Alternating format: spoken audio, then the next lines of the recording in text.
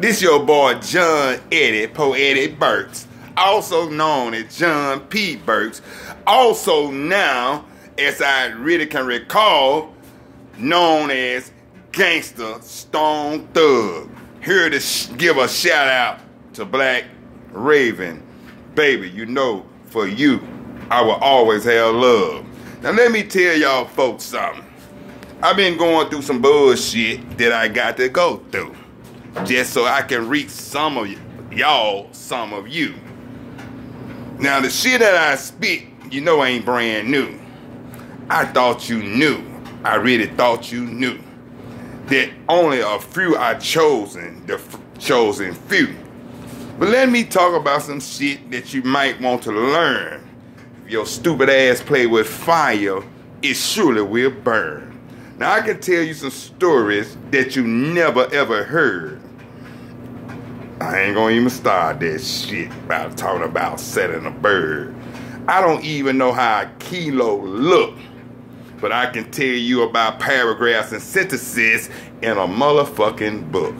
Now some of y'all think that y'all can't bleed. I sit your ass down with me for five minutes and find out your dumb ass can't even read.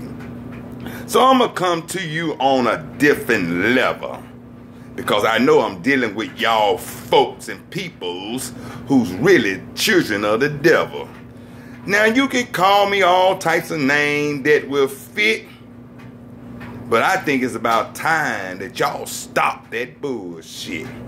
Now I can tell you all about life and all about love and hate and how to get through a fucking gate. I can even tell you stupid motherfuckers how easy it is to do a bank robbery and to escape.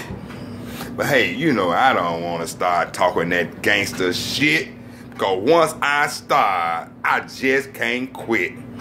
I just want to give a shout out to all of those people who I know when you was a little boy and a little girl, I knew you was gonna grow up and be a bitch, a sissy, a punk, and a hoe.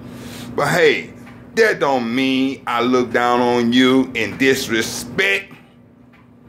All I can tell you is my mind is a mind within a mind that can easily retrospect. Now, Donnell White, Lil Wayne, and all of my Memphis homeboys, y'all need to come on up Detroit and so we can play with some real toys. Now, my son Smurf in Dallas, Texas, like a goddamn fool. Hey man, you got the smartest and the greatest dad that a motherfucker ever had. And I graduated from every fucking school. Now I could tell you stories about hoes, pimps, punks, and all of that shit about the penitentiary. But I don't think it's but about one motherfucker on this earth that truly know me